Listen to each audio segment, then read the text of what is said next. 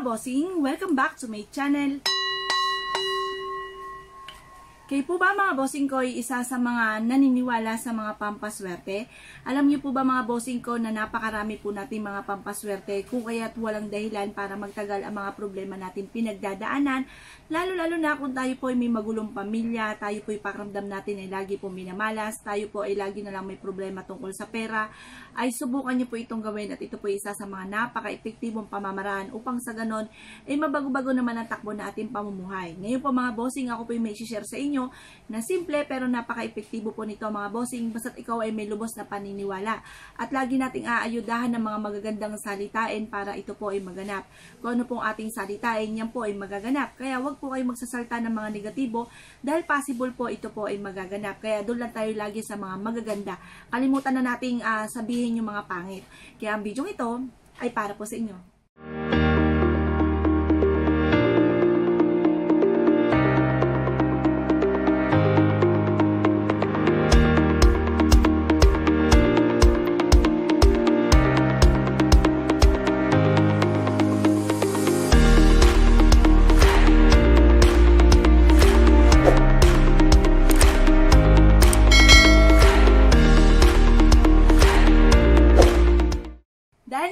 Bossing ko, sa panahon po ngayon, ang pinaka numero uno po na problema po ng karamihan ay pera. Ngayon po mga bossing, kung kayo po isa sa mga naniniwala sa mga pampaswerte, mainam na subukan niyo po itong gawin. At uh, kung kayo man na may problema pinagdadaanan tungkol sa pera, laging parang feeling po ninyo ay parang pinagsakluban kayo ng langit na panay problema na naman po pinagdadaanan ninyo, Subukan niyo po itong gawin mga bossing at ginagarantihan ko po sa inyo ang pagbabago ng inyong buhay. Ito po mga bossing ko ay perpektong kombinasyon na mainam na meron po tayo sa ating tahanan, lalo-lalo na ngayon sa sapit na September para po maging masagana ang ating pamumuhay. Salubungin po natin ang kasaganahan ng ating pamumuhay at hindi po panahirap na lamang. Kung kayo po isa sa mga nauumay sa mga sistema ng mga pinagdadaanan nyo sa kasalukuyan, subukan nyo po ito. Kailangan nyo lamang po mga bossing ko ng orange peel. Ayan. Ngayon mga bossing, ako nga po kasalukuyan din kumakain ngayon ng orange dahil ngayon po ay biyernes. Kumbaga, kumakain po ako ng kasaganahan. Kagaya nga po ng granada, usual ko nga po sa inyo. Kailangan tuwing biyernes o tsaka Tuesday ay kumain po tayo ng mga masasagana kagaya ng mga munggo. Ayan. Yan po ay magbibigay sa atin ng kasaganahan. Ngayon po mga bossing, ito po ay tatambalan po natin na talaga namang Talaga namang hindi kayo mapapahiya dito, hindi po ako mapapahiya dito. Dahil ito po ay ang dami pong benepisyon dinulot po sa akin sa pamamagitan ng luya. Ngayon po mga bossing ay maghihiwa lamang tayo ng luya at iikot natin dito sa ating pong uh, platito. Marami po mga bossing na nagpatotoo na sa pamamagitan ng luya. Ultimo mga na OFW, mga nasa ibang bansa sa pamamagitan ng luya. Ito, pong, ito po isa sa mga mabisang pangakit ng swerte lalo-lalo na sa pera. Kung kayo po mga bossing ko ay nalulungkot, malulungkutin, iniisip yung pamilya nyo po dito, or kaya iniisip ninyo ang kasalukuyang buhay po ninyo, kung paano kayo bukas, huwag po kayo mag-alala mga bossing may awa po ang Diyos sa pamamagitan po ng mga iba't ibang mga pamamaraan tayo po ay suswertihin upang sa ganoon ay mabago-bago ang buhay po natin. Ngayon po mga bossing, ganyan po itsura po niyan. Yung aroma po ng ating luya ay sobrang bango at ang, ang aroma po nito makakatulong po sa atin para mabago po yung takbo ng ating pamumuhay. Ngayon po mga bossing, ang gagawin nyo lamang ay ganito. Pagkatapos, lalagyan nyo po siya mga bossing ko ng, uh, teka, kung meron po kayong uh, Ayan, asin. Asin na lamang ating nalagay. Kasi sasabihin ko po sana kung meron kayo cinnamon powder. Kung may cinnamon powder kayo, pwede nyo po siyang i ilagay po dito. Pero kung wala kayong ganon, asin na lamang. Kasi baka o-order pa po kayo sa Lazada. Ngayon po, cinnamon powder, cinnamon stick or lahat ng allspice, ang pinakamaganda kung kayo po yung order ay sa may uh, Nanay's Best. I-research nyo naman po sa Lazada yung uh, product ng Nanay's Best Nanay's best is the best. Hindi po ako mapapaya sa inyong mga bossing dahil garantisado na po yan na talaga namang subok na subok na na magbibigay ng swerte. At saka napakaganda at at ang higit pa sa lahat ito, makakatulong pa po kayo sa iba kasi marami po sila mga nabibigyan ng trabaho dahil nga po sa dumadami ang kanila pong order. Kaya kung kayo po ay isa sa mga order po dyan, subukan nyo po ang uh, Nanay's Best All Pies. Ngayon po mga bossing, ito po yung pinaka-itsura po niya. Ito po ay, uh, ito po ating orange mga bossing, hindi lang po ito tungkol sa pera.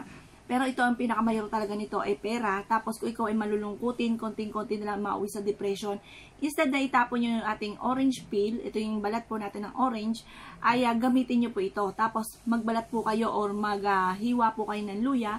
Ito pong luya ay isa rin sa mga pagpapakapit ng swerte lalo-lalo na sa pera. At kung ikaw po ay may problema sa buhay pag-ibig, may magulong pamilya, gamitan nyo po ito ng luya. Ang ahang po nito at ang amoy po nito ay magdudulot po ng, kumbaga, instant na pag-aaway ay pagmamahala ng bawat pamilya. At ang asin naman po mga bossing ko ay isa sa mga pinakamabisang pamamaraan ng pataboy ng mga kamalasan. At uh, ito rin po ay isa rin sa mabisang pang-akit ng swerte, lalo-lalo na sa pera. Ngayon po mga bossing ko kayo po ay laging may problema tungkol sa usapin ng pampinansyal, may magulong buhay pag-ibig, magulong pamilya, magulong buhay, subukan nyo po ito. Simple pero napaka-epektibo. Ngayon po, kung, kung meron naman kayo cinnamon powder, pwede nyo rin po siyang ihalo dito kasi ang cinnamon powder, ang aroma po nito ay nakakatulong din lalo-lalo na rin po sa usapin ng pera. Ngayon po, kung wala naman kayo, ay di asin na lamang. Nasa inyo po yan kung ano po ang meron po kayo sa inyo para hindi na kayo bibili. Pero dahil nga po sa sa uh, itong ating orange peel itatapon na lang po natin. Kung kayo naman ay sinisigurado kung baka naman po may luya sa inyo, yung luya ay huwag po ay magpapawala sa inyong puntahanan dahil yan po ay magdudulot sa inyo ng swerte at higit sa lahat ang asin. Ang asin ay talaga namang kilalang kilala na pangalis ng mga kamalasan. Ako nga po ay parang almost parang nasa isang sakong asin na ang akin na paligo para lang mabago ang takbo ng aming pamumuhay. Dahil kung kayo po ay nauumay na sa mga problema pinagdadaanan nyo, abay walang alinlangan. Ako nga po ay walang alinlangan ay tumayo at gumawa po ako ng mga pampaswerte. Bagamat masama po pakaramdam ko ng mga panahon na yan at talaga namang ako po ay dinapuan ng sakit ng vertigo. Yun po talagang hindi makatayo at sobrang lulat, di ako makakain. Hindi rin po ako makatulog at ako'y sobrang hilo ang nagaganap sa akin. Ngayon po mga bossing, dahil nga po sa sobrang dami mga pagsubok na dumating kung kaya ta ako po ay nag-focus sa mga pampaswerte at walang alinlangan din na ako po uh, sinuwerte kung ikukumpara dati at ngayon ay milya ang pagitan. Ngayon po mga bossing ko kayo po isa sa mga panatiko sa mga pampaswerte, subukan niyo po ito. Basta kung ano't ano man ang mga problema niyo pinagdadaanan, masasabi ko lamang, kaya po natin yan. Habang may buhay, may pag-asa. Marami po tayong mga iba't ibang mga pamamaraan at ganoon din po ang mas kailangan natin kumapit sa mahal Panginoon at dagdagan palalo ang sipag at tiyaga. Napakabango po nitong aking ginawang ito. Naghahalo po ang ating luya at ganoon din po ang ating orange peel.